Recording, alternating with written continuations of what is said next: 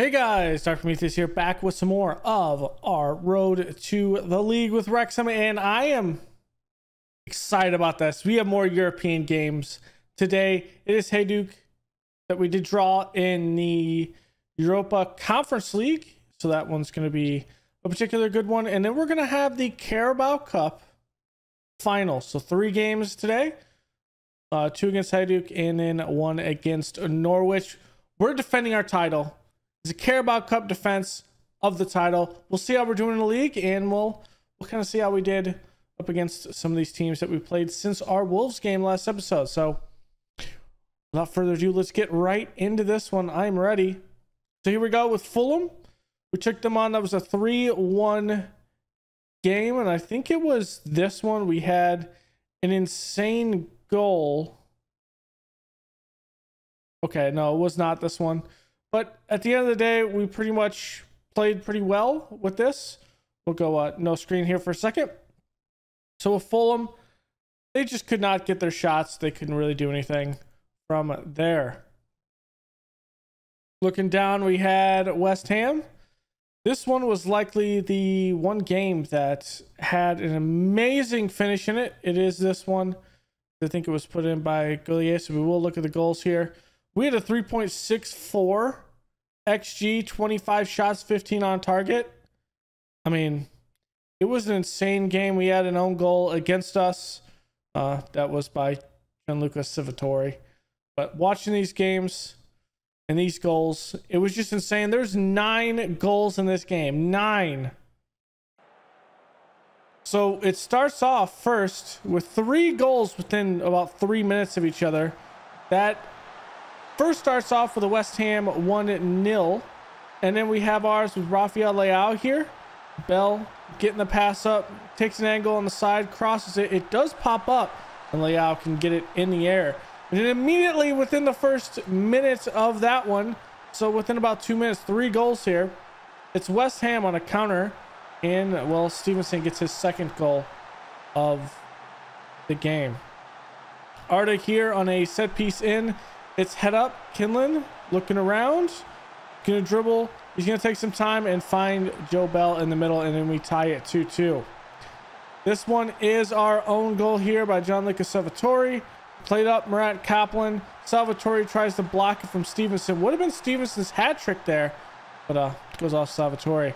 Arda off another set piece. Bell puts that in. I believe that one was Bell. Yes, it was. Another one here. This is by Tomaso Probega. Just a great layup there by Layout on the Probega. And here's the one by Arda that we're going to see. That one, a spectacular, spectacular one. I mean, we, we have to look at this. I mean, we have to look at this, what, from, uh, not the sideline, from behind goal, maybe? Maybe behind goal or work? So here it is. It's going to go up in this upper corner here. But Arda putting this through curves it through the line here. It splits. That's how he's able to put it through. It was just an insane goal. Yeah, I don't think we're going to get one that uh, has it directly behind him. But yeah, it was an insane bit because that did not end the goals. Akia Kai comes in, on some reserve and well he comes in off the bench to score one himself. Six to three with that one. And then we took on man city. Well at this time it wasn't erling haaland scoring three goals like we had what back here? It was 6-1 erling haaland had three goals in that one we were able to keep Erling Haaland off the scoreboard, but Thomas Neves and Lloyd Bustos uh, was 3 1. And Caputo got one in consolation time really in the 91st minute. So here is Hajduk. We're going to be going away to Croatia. Their key player being Norbert Bodu. Decent player. I mean, his jumping reach probably isn't the greatest. But, I mean, at the end of the day, I think we should see a lot more than what we have, uh, than what Hajduk can give us. So there's that. What it looked like in the elimination round, the knockout round. Nothing crazy. Rapid Vienna did win in uh, penalties. So they beat AIK. Brann was knocked out by Molde. And then the only one, Porto beat uh, Slavico easily uh, 4 0 in aggregate. So how it matches up going to the round of 16 here. Sevilla will play Molde. Uh, Porto will play Willem uh, 2. And then the other ones being Rapid Vienna and Hertha Berlin. So a little German language rivalry going on here. I don't think it's really a rivalry. One's from Germany, one's from Austria. So a little bit there. And then nothing really big in that one. Obviously, the quarterfinals aren't drawn yet. So let us get in this one against Hajduk. So we have a couple of injuries that aren't the greatest, but I think we'll be fine. They're playing a 4 2 3 1. Uh, Thomas Probega is out five to six weeks, and Paul Kinlan, the man that has 32 goals for us, is out for this one for at least these two games and the Carabao Cup final. So we're gonna have to do without him. That means Kulusevski is gonna come up top, and then Vanderson's gonna play on the right. Akia Kai will be the Segundo Volante instead of Tomaso Probega. So I didn't want to pull in Declan Knowles. He has 20. And I don't think we're gonna come in and actually I mean we should probably play him if we need him. But I'm looking for the fact that I don't want to play the 47. 47 million it takes to get him because I actually signed someone for next year. We saw last episode. I think he could be the guy that plays in that position that's a, a lot better, maybe. Let's see. He just needs more develop, but he's better in speed. Aerial, he's not going to be better. But being 23, I think he could be just as good by the time he turns 26. So I, I kind of don't want to pull him in, but if we need him, we, we, we have to use him at that point because we have no other subs. But Kulusevski should be able to get the ball around and do some work there. Keyword is should. Just getting this first game against Hajduk. We're strong. They're excellent. They actually played pretty well their European games. They won that in aggregate. I think it was seven to three. So we have to deal with their four, two, three, one. We're going to be starting off, obviously, in a triple decker stadium. Okay. Okay. And this is where it gets interesting.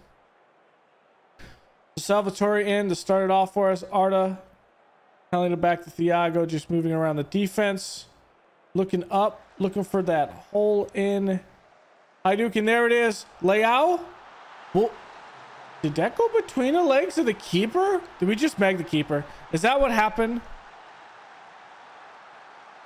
Let's look at it. Salvatore just a very good pass around the defense, kind of need to seize it. Nope, it just goes up the right shoulder of him. Okay. And Rafael Leao puts us up 1-0. Now, I know we're probably, well, there's no probably, we are a better team than Hajduk, but you never know what could happen. So, with that third game being the Carabao Cup, it kind of is something, or the first two games, might not be as competitive the way that we could play, but that Norwich game will make it a bit competitive. So we'll at least see us through. And this is our best that we've done in Europe. Because we've only been in Europe twice. There's that. All right, let's praise the boys. It is raining like hell outside. I can hear it. Like physically outside.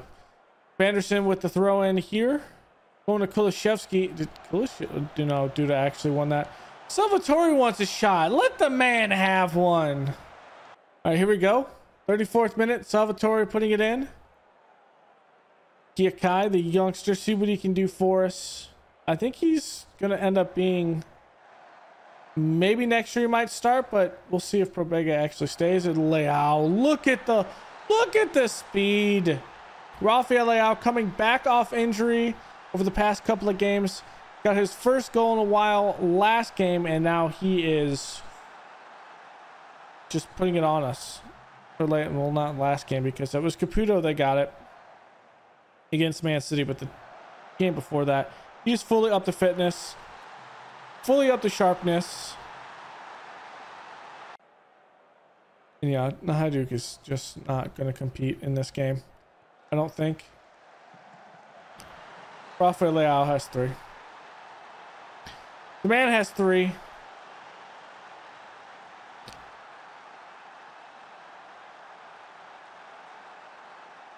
At this point, I think we just we take him out. We take him out at the half. Leao has done everything we've asked him here, and that is just put the ball in the back of the net. So I think we're going to make a couple of changes. Kulusevski will come up here. Kulusevski will move up here. We'll have to see who we use at the advanced. Maybe it'll be a Caputo. Caputo learning that position might be good. But he is maybe on the way out. I don't know. Let's pull Kulusevski up here. Um, let's pull in... No, we got Cepeda. What am I doing? Get Cepeda in this game. Cepeda is going to get in this game, and that's how we'll play it there. There's no reason to risk Rafael Leao right now. No reason to risk him. All right, another chance here. 58th minute. Arda's going to service it in. Levin Verde hits the top of the post and over the net. Uh, Salvatore is going to be the next one out. I think we might do this sooner rather than later. Let's do it right now. Salvatore is going to come out. We're going to get... Uh, let's get Casey in. Give these youngsters some looks. So Casey's going to come in. Uh, Levin Verde is going to come out. We'll put in Barrios. Yeah, I know he's on loan, but still.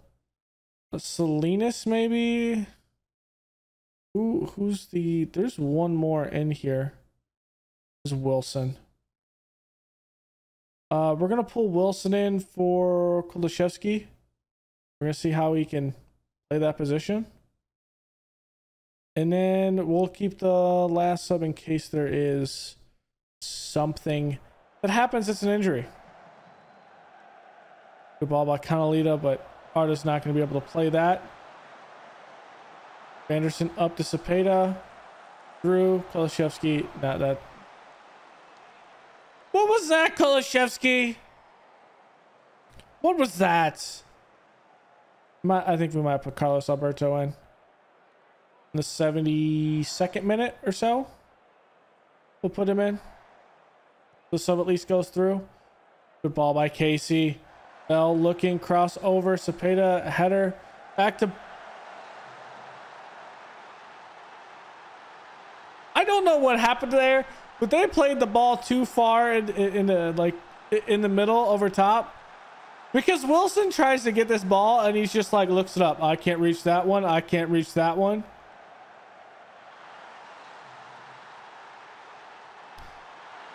Wilson's just like, what do you want me to do with this ball? That's funny.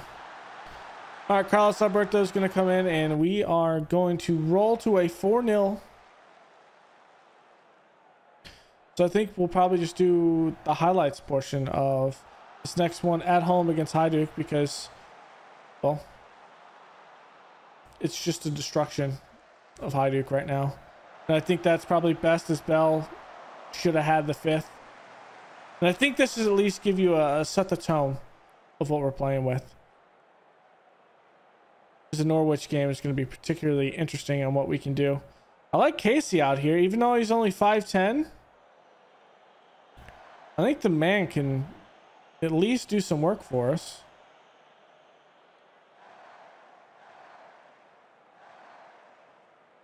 Cepeda having that knock is not the greatest thing, but we do have Kulusevski.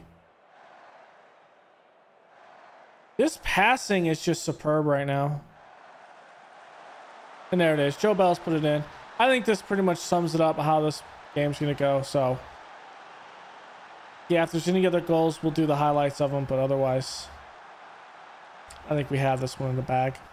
All right, so there wasn't any more goals. We came away with a 5-0 win over Hajduk, and I'm not surprised by that. Not in the slightest. I thought we played a pretty well game, pretty good game in Croatia here.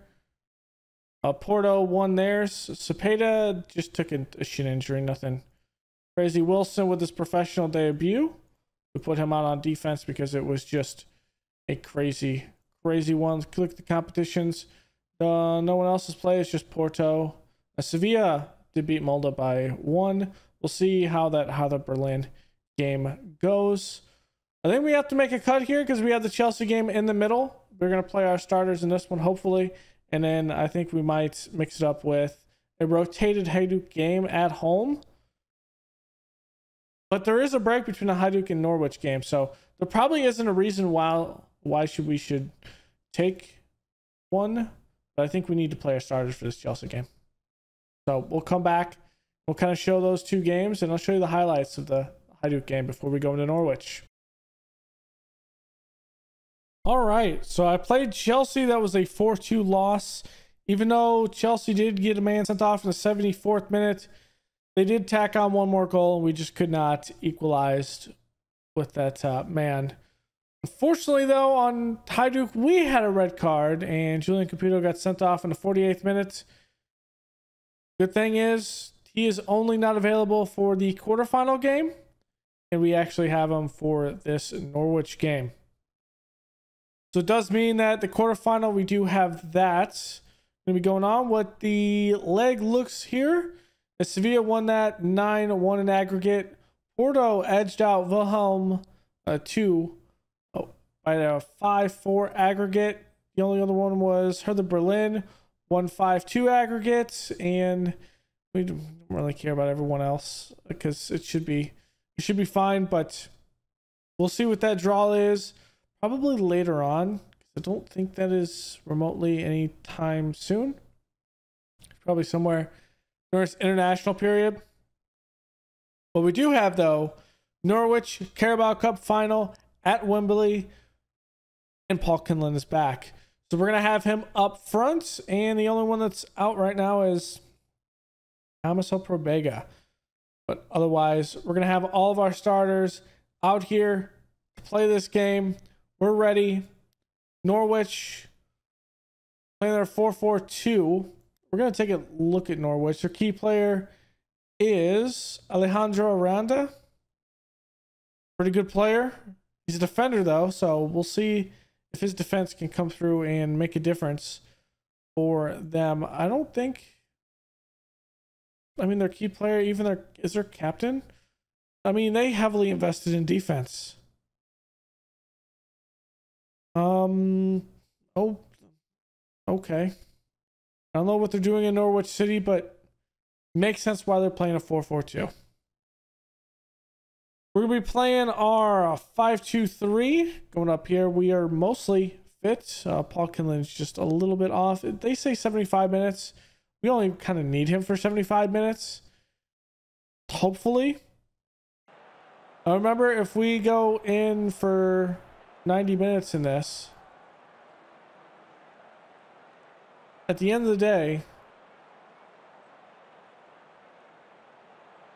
it goes to a shootout.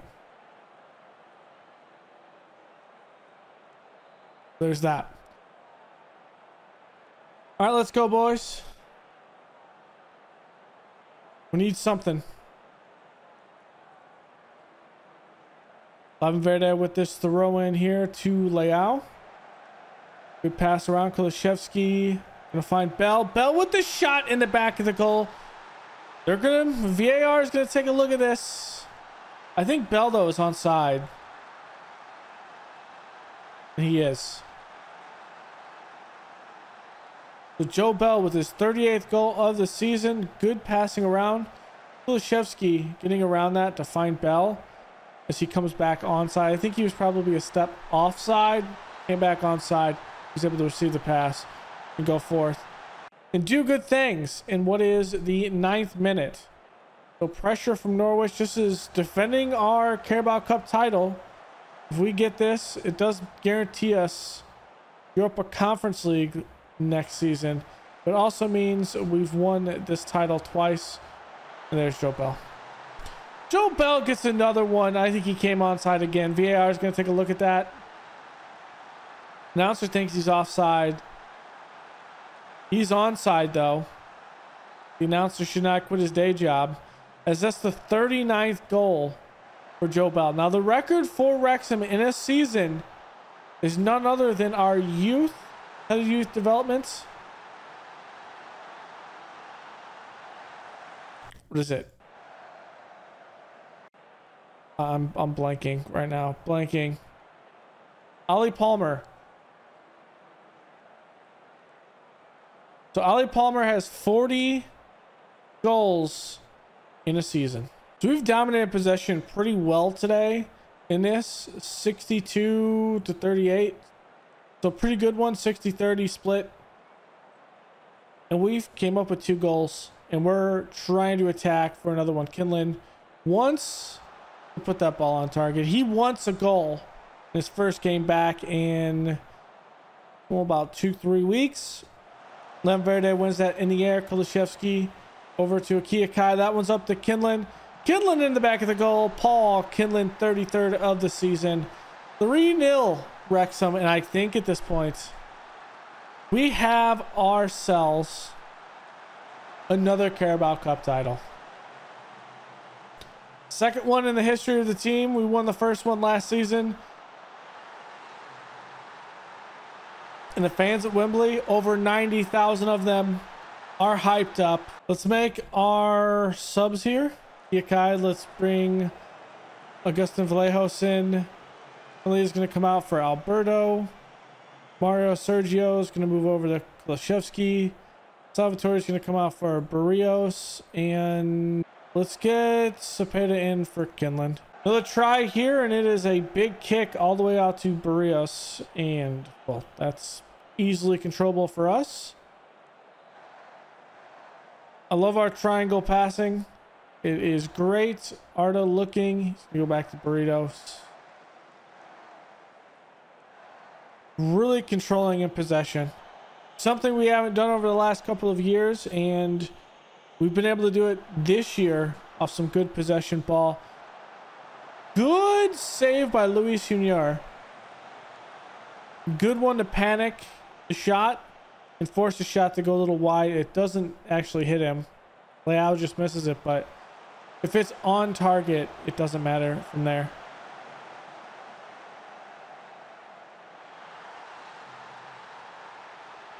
I'm gonna just gonna say okay. That that's they can have that one. It's three one. Is this this is Joe Bellingham? This is not the one we had on our team. So I think or is Jude one uh, Jude the one that's the better one? I always forget which Bellingham is better. Well, which Bellingham starts at the top. Let's take a look at that. Just because I am curious. Jude's at Man City. Jude's the one that starts at the highest. The man is making 32 million a year. Jeez.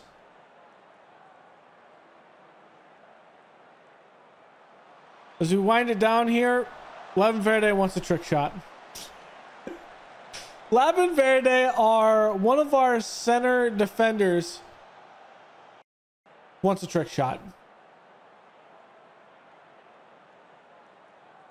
That's funny. But let's add it to the shelf here. Let's see who's actually going to pick up the trophy. Is that Canalita? I think it is Canalita there. The midfielder in the middle, it, it might not be. Who knows? It's okay, but there is our second Carabao Cup final. We have defended the title second in a row. We'll see what we can do in the FA Cup next year because that, that's the one we just can't get through. We just can't get through the FA Cup. We keep on being by League One and League Two teams, which is not great. So, I think we have a good bit of happiness at this point. We go into a international break or an international break. In this one, we have some time to kind of heal our cuts and wounds. Our youth candidates, this youth intake is actually really good. So we'll do that. We've won the last two. New history. Newcastle's won four in a row before. Man City has won four in a row. Two in a row by United. Liverpool's won four in a row before. So the key is four in a war. Four in a row.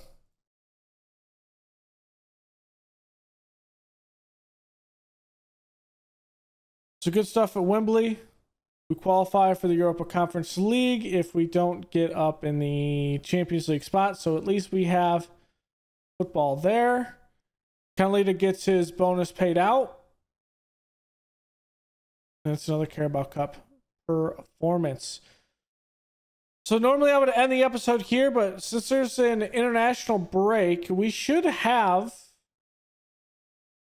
the draw before the game at Leeds. So we'll see what, what that draw is. If it doesn't draw and we get the Leeds game, then we'll just kind of see. But it, it should draw before that. Okay, so I did this twice. We got the same roll. I thought there was like a drawing thing. Like there's previously. There's not a drawing thing. It's kind of weird. We play Sevilla anyway on both uh both ones. The first place. So that means the winner will either play Porto or Dundee United. Sevilla I mean, this is going to be somewhat of a more difficult game for us, probably. Javier Blanco, their best player. I think they're playing a probably either a, a 4 2 3 1 or they're going to be playing a 4 4 2. We'll kind of see what their. A way you can kind of see? Last starting 11 was a 4 4 2. So that's what they have been playing with us. Key player with Javier Blanco. Uh, David Rios is their co captain, their vice captain, and their captain is Tanguy Nianzou. I'm mispronouncing that. French na- uh, international, I think, well, technically French national, but pretty good defender. Again, it's another team that invested in the defense. So we'll see if we can beat Sevilla. This is going to be a big game. If we end up winning this one, it does mean that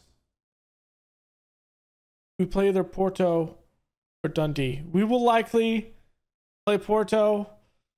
So if we win that, then it is another team on the Iberian Peninsula. We'll move from Spain to playing Porto, fourth in the Portuguese league.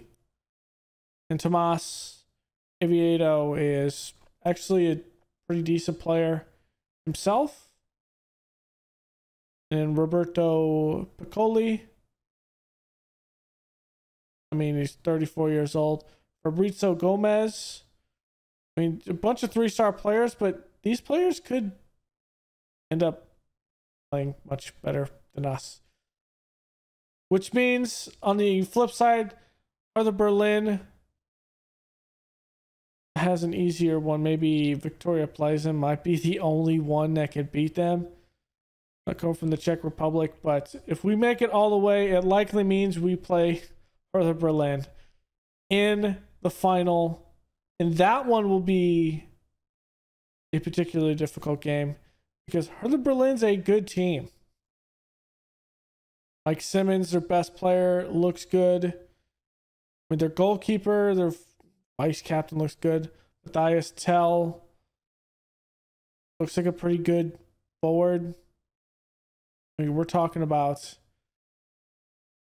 a big jump up, and that would be one that we have to fight for in this. I mean, that would be a very difficult one. Man City has already clinched a Champions League spot. They're 81 points. I mean, they've only widened the gap at this point. There was that 24, no, yes, 24 points ahead of us. 14 points ahead of United. I mean, Man City has pretty much ran away with this. Them being 24 points, also above Newcastle because we're tied at 40 uh, at 57 points. And I don't think that's going to really matter a whole lot in the grand scheme of things. I just I just don't. Just know that the Europa Conference final if we end up winning the Europa Conference League, that qualifies us for the Europa League group stage. So it would be essentially like finishing where Newcastle is. It'd be like us finishing fifth in the league. So if we don't get Champions League football, we'll at least have some type of European competition. We just have to beat Sevilla and Porto, which is two very good teams with that. So we'll be back with this Sevilla game. I think we just played both legs Sevilla. It is a very good, very good team over in Spain. So I think we play that one. Then if we go to another one, then we play another one probably in May, and we might wrap that into how we're going to be looking at the league itself. So I'll play this Leeds game here in between pretty good day today. I mean, that Chelsea loss was not the greatest, but out of the episodes we had watched, 5 0 against Hajduk and, well, 2 1 against them in the second game. Winning that one 7 1 aggregate in the Europa Conference League. I think we have a step to maybe on our path. If we beat Sevilla and Porto, I mean, it's still down to a crazy game against Hertha Berlin at the end of the season at least we'll be maybe full strength. Hopefully, we can stay up with our fitness. But we do have Paul Kinlan back, which allowed us to do a lot of work against Norwich. From there, it's about what we're going to do in May with the league. So we'll be back with the Europa Conference League quarterfinal, first and second leg at next episode. And I will see you guys then. Better, guys.